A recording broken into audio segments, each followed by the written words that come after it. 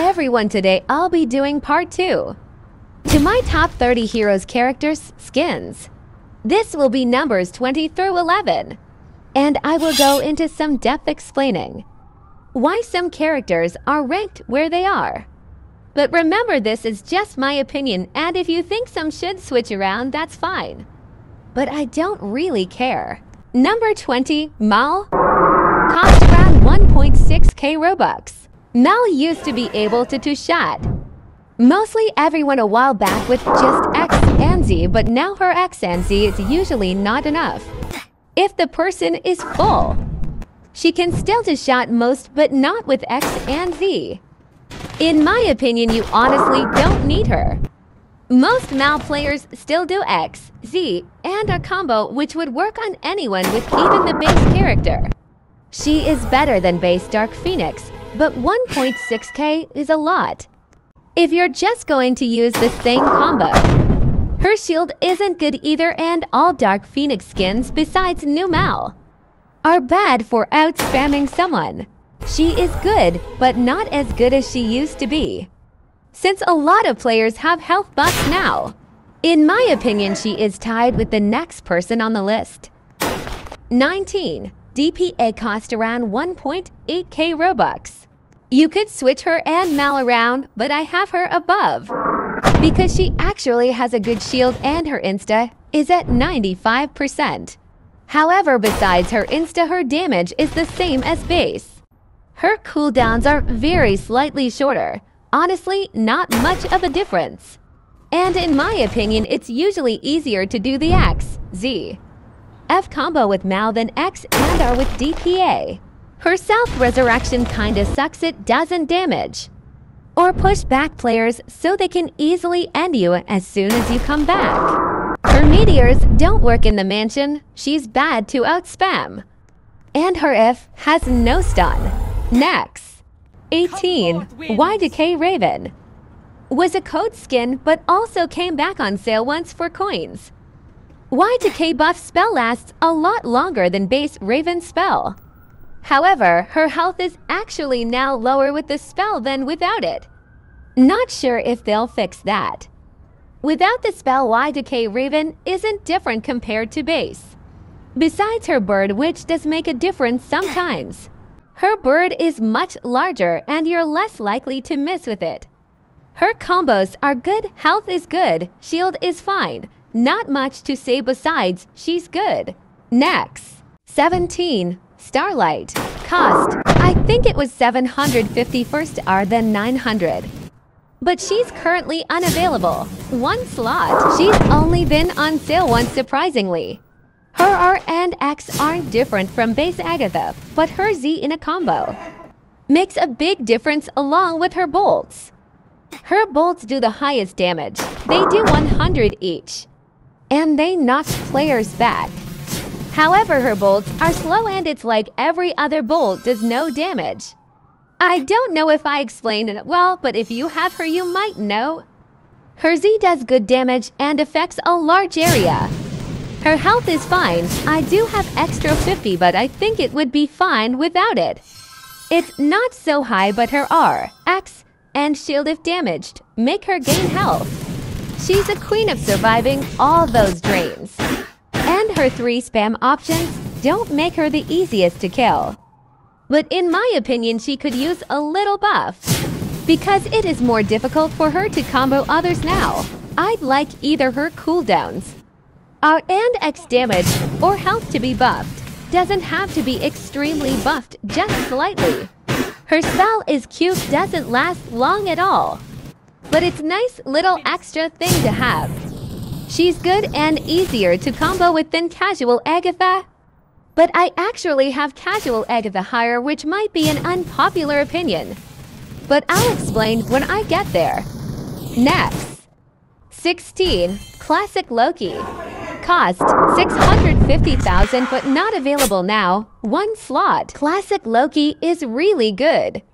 He can definitely end anyone with his sleep or stun and daggers. However, if you're fast, you can actually shield when he uses his E, and it's kinda easy to miss his daggers. But yeah, his R does a lot of damage, and so do his daggers. And his daggers barely even have a cooldown. He is what Cam's thought Sylvie was. I have no idea why Sylvie cost 4 million and classic Loki only 6-5 okay. His health is good, cooldown's fine, shield is good. His main bad quality is he can't fly. I don't have a scooter so I can't say how much better he would be if you have one. But yeah, I think he's really good. Moving on. 15. Casual Agatha, one slot, cost 850,000, but not available now. Casual Agatha is really good and kinda underrated. Her cooldowns for R and X are really short, you can do a combo. Going back and forth between the two. However, R and X don't leave a stun so you have to be good at spamming from X to R to back to X. And that is more difficult to do for mobile players, I think. So I think if you're not good at going from X to R, then you would probably have casual Agatha below Starlight. But honestly, you don't even need to be that good with Agatha to still eat. Because her X has a very short cooldown, does a lot of damage, and gives you back a lot of health. So sometimes you can kill players with just spamming X which is what I did to end someone in this clip. I knew I could just jump in use X and take damage because I would just end up getting it back. Whereas they wouldn't. So overall, not pricey. Her health is great. She gets health back. Short cooldowns besides F. X is good for spam. Love her, but she's not for everyone, I guess. I will probably do it easiest to use good character list if you guys want. But for now next. 14. Dr. Fate. One slot cost 7 million coins. Guys, I actually had a difficult time finding a placement for Doctor. Fate. On one hand, his attacks do good damage. He has spam options. He has high health and shield. But on the other hand, his attacks are so slow. His bounty is high, which makes him targeted a lot, and he is really expensive. I feel like the main reason I even have him this high. Despite being targeted a bunch is because of his ult. His ult kills many characters, and you can do it secretly. However, the animation once you do it is slow and you will probably get targeted by anyone left. That survived. His shield is probably another reason he gets targeted. It's just annoying and he can't use it while falling down from flight. He has to be on the ground. He is good but also so bad at the same time. I've never used him in a public server though so I can't say too much about him. But not worth his price, just save for an upcoming character. 13. Magik Devil Era Originally a code skin, but was also to million coins. One slot. Magik is really good for ending anyone. Her combos are really good and difficult to escape. Her health is great, her shield great. And she has limbo to go and heal. The only thing bad about her is it's difficult to spam with her.